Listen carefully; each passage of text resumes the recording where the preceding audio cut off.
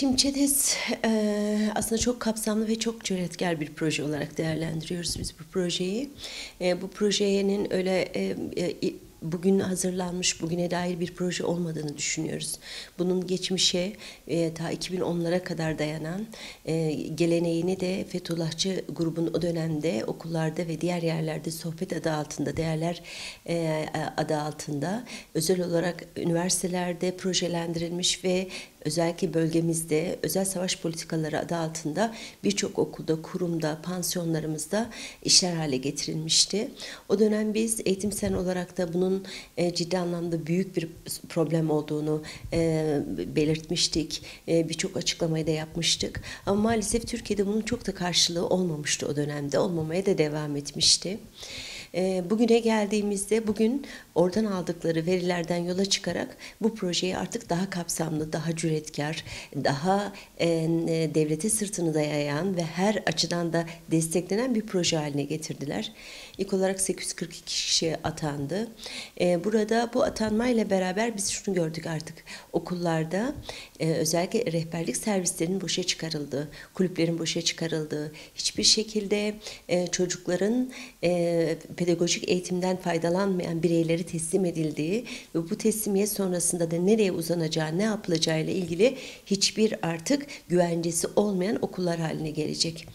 E, bu insanlar atanırken neye göre atandılar? E, ve bu atanma sırasında hangi e, e, şeyler var? Yani m, örneğin abilik ablalık sistemiyle başlayan okulda bu hiyerarşi, hiyerarşiyi koyarak ciddi anlamda daha e, e, okul işlerliğini, e, idareyi boşa çıkaran birçok hizmete götürülecek. Sadece okulda olmayacak aslında bu proje. Bu projeyle beraber, Diyanet'le beraber, işte gençlik vakıflarıyla beraber ve diğer vakıflarla beraber özellikle e, Türkiye genelinde e, kendileri için yeni bir dindar kadro yaratma hevesi içindeler.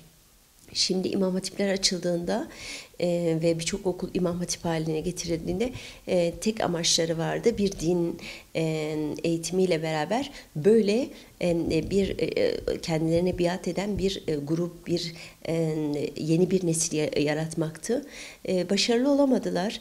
E, mesela birçok yerde imam hatiplerin boş olduğunu, okullaşma oranının öğrenci sayılarının çok düştüğünü, verilerin çok düştüğünü biz görüyoruz. Başarı oranlarının çok düştüğünü görüyoruz. Birçok veli e, imam hatipleri çocuklarını artık göndermek istemiyor. E, bunu gören aslında devlet ve iktidar aklı hemen ne yaptı? Buna karşı yeni bir proje geliştirdi. Ve bu projeyle beraber bütün okulların imam hatipleştirilmesi projesidir bu. Başka hiçbir açıklaması yoktur. Zaten yeterince okullarda e, din eğitimi adı altında imam hatip olmasa dahi e, haftalık 4 saate yakın bazı okullarda 6-8 saate yakın seçmeli derslerle bu eğitim zaten veriliyordu. Bir de bu okuldaki görevlilerle beraber bu artık tamamıyla e, onlara veri taşıyacak, onlara e, istedikleri şekilde orada bütün projelerini uygulayabilecekleri alanlar açtı diye düşünüyorum. Ya son yıllardaki en büyük istismar vakalarını biz özellikle medreseler dedi adı altında, din eğitim adı altında verilen e, Taşra'da dediğimiz e, insanların ulaşamadığı ekonomik yokluk ve yoksulluk içindeki ailelerin e, birçoğunun bazen mecburiyet karşısında veya işte ona, onlara vaat edilen e, maalesef bahçeler için gönderilen çocukların istismara nasıl uğradığını görüyoruz. Bu insanlar hangi eğitimden geçmişler, ne yapmışlar, geçmişleri nedir? Ee, hiçbir bilgileri yok, hiçbir verileri yok maalesef. Ve biz bu çocukları onlara teslim ettiğimizde çocukları ciddi anlamda her tür suistimale açık şekilde maalesef oraya göndermiş oluyoruz. Bu insanlar da böyle. Şimdi bir imamın veya işte herhangi buna bir müezzinin veya buna benzer bir insanın orada bir çocuğa yaklaşırken nasıl yaklaşacağını, e, ne yapacağını hiçbirimiz bilemeyiz. E, biz eğitimi, formasyonu e, özellikle eğitim fakültelerinde bir ders olarak değil yani bir bölüm olarak işliyoruz ve çocuğa yaklaşım konusunda da ciddi anlamda bir eğitimden geçiyoruz. Yeterli midir? Yetersiz olduğunu da düşünüyoruz. İç eğitimleri de bu konuda sürekli olarak e, e, önceliyoruz diyoruz. E, bu nedenle ciddi anlamda çok büyük sorunlar olacak. Çocuklara bir kere dini yaklaşımda da yanlış bilgilendirme, yanlış yönlendirmeler sonucunda özellikle ergenlik döneminde o çocuğun boşlukları ve inanç boyutunda ciddi anlamda büyük kırılmalar yaşayacaklar. Bunu nasıl toparlarız gerçekten bilmiyoruz. Biz bu açıdan da çok bakıyoruz. PDR servislerinin özellikle rehberlik servislerini yapması gereken birçoğu kendileri bilmeden eğer bu alana atlarlarsa bu çocukları büyük oranda kaybedeceğiz diye düşünüyoruz. İstismarı nasıl açığa çıkaracağız? Çimler ne yapacak? Yani bu konuda çocuk nereye başvuracak? Gidip başvurduğunda bu ülkenin bir bakanı bir kereyle bir şey olmaz diyen bir bakanın bir anlayışın dayattığı ve gönderildiği e, hiçbir eğitim almayan e, bu imamlar veya buna benzer kişiler ne yapacaklar bu çocuklarla? E, insanlar tedirgin olmalı gerçekten çocuklarını gönderirken bu tür okullarda, bu tür e, her tür suistimale açık alanlarda ve bu kadar geniş kalabalık e, çocukların bir arada olduğu yerlerde gerçekten çok dikkat etmeleri gerekiyor. Ya biz zaten eğitim sen olarak, eğitim emekçileri olarak Türkiye'de de bölgemizde de şunu hep savunuyoruz.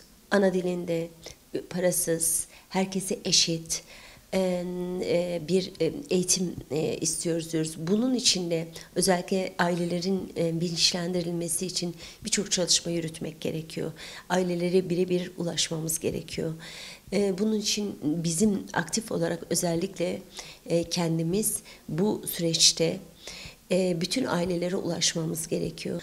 Onlar nasıl büyük bir seferberlik halindelerse bizim de buna karşılık yeniden bir araya gelip mücadeleyi daha güçlendirmemiz gerekiyor.